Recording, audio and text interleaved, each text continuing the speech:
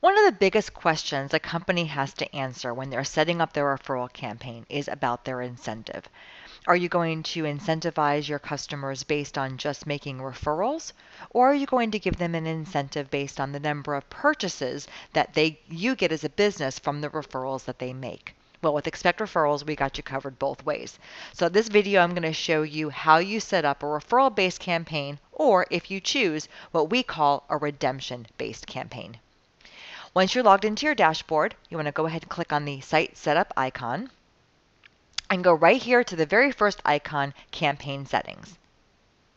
Inside campaign settings, there's lots of different choices you can make to customize how your referral campaign operates so that Expect Referrals can automate all steps of the process.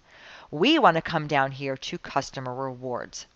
We're going to skip the first one, customer reward level, the single versus the multi-tiered. There's another video that talks about what a multi-tiered referral campaign is, and we encourage you to watch that one as well. But let's go over here. Are your referral rewards based on the number of referrals or the number of redemptions?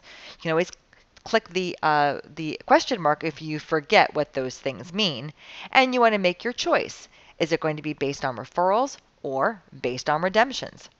Let's go ahead and keep it for referrals for now. Now, how many referrals or how many redemptions, if that's what you selected, have to be made to reach an incentive? Let's say you want your customer to refer five people before you give them an, an incentive offer based on number of referrals. And that's all you have to do. Now, a couple things to keep in mind. If we're going to go into a redemption campaign, Expect Referrals needs you to come back into the software to let someone know whether or not one of those referrals has made a purchase. Make sure to check out the redemption based video to walk through that process.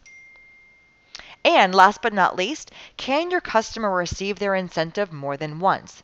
If you are using a single based referral campaign, the question down here is super important. Can they receive that refer- incentive more than once? So if we were doing referrals at five, if the answer is yes, then we would send that customer their referral email, their customer thank you email every five referrals. If the answer was no, we would send them the email when they hit their fifth referral, but we wouldn't send any more after that.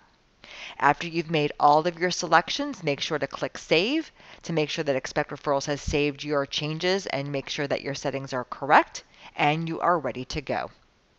And that's how you handle referral based versus redemption based referrals. Make sure to check out the other videos to see the other features that Expect Referrals comes with to make your campaign amazing.